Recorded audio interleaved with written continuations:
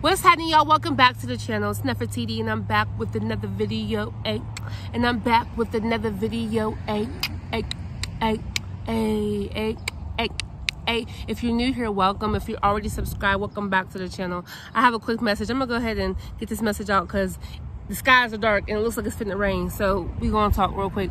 And so I wanted to come on here and let you guys know that the vengeance is the Lord's.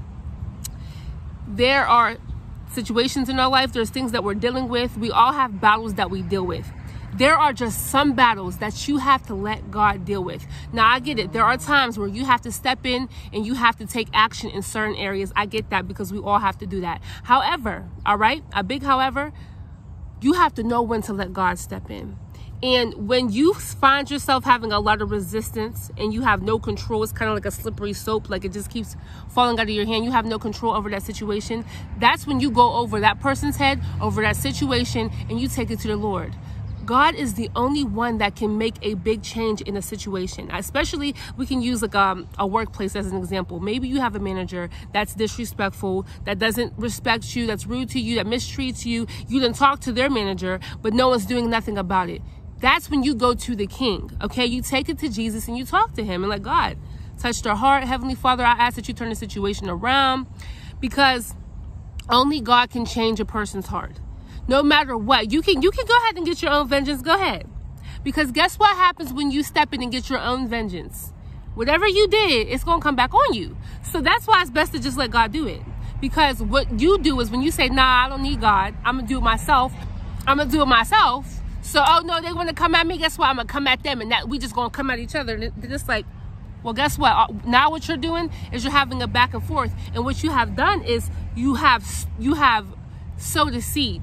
You have sowed a seed of discord. You have sowed a seed of back and forth. You have sowed a seed of arguments when you could have just taken it to God and let Him deal with it, and God will change that person's heart. And God will even change a person's heart to the point where He'll have a person apologize to you for how they treated you. Okay? So just know that in some situations, the vengeance is the Lord. Now, some people are going to be like, uh-uh, because I don't got time to be waiting for God to do it because God's not quick enough, or you think that you're weak because you ain't doing nothing. No, that no, you're not. It takes a lot of strength to, to, to step back and to not allow your flesh to take over and to let God handle it. It takes a lot of strength. You may not think so, but if you, it takes a lot of strength because if you're used to, to always barking back and coming back at a person or, or handling a situation the way that you want to handle it, it's hard to not do it the way you want to do it, but to, to let God do it, to completely step back and be like, look, God, I don't want no control over this situation. I'm just asking you to go ahead and, and step in. Now, listen, when you're asking God to step in, that means you have to step back, okay? Let him do his thing. God's going to do it the way that he needs to do it, the way that person needs needs it to be done. He will he will have the situation be completely peaceful, smooth. He will he will do what he needs to do. He will correct the people he needs to correct. He will touch the hearts that he needs to, to touch. He will change the situation that he need that needs to be changed. When God does it, it is best that we just let him do it. Don't you don't gotta step in. You don't got to now. If God puts it in your heart to to be like, okay, well, go approach this person this way, or go do. If God tells you to do a specific thing, of course, be obedient. But what I'm saying to you is, you have to know when to let God have it. Okay, you have to know when to be like, you know what, I have no control over the situation. I'm going to give it to you. I'm gonna let the vengeance be yours. Okay, you might you might have people that might be in your ears trying to come at your neck and stuff like that, and you and you got to be like, you know what, God, the vengeance is yours. And I'm not saying don't defend yourself now. Okay, hold up. All right, it's not what I'm saying.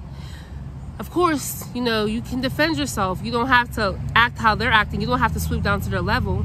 But of course, you can defend yourself. But there are situations in your life where you have no control and you have to know to be when to be like, you know what? You got it, God.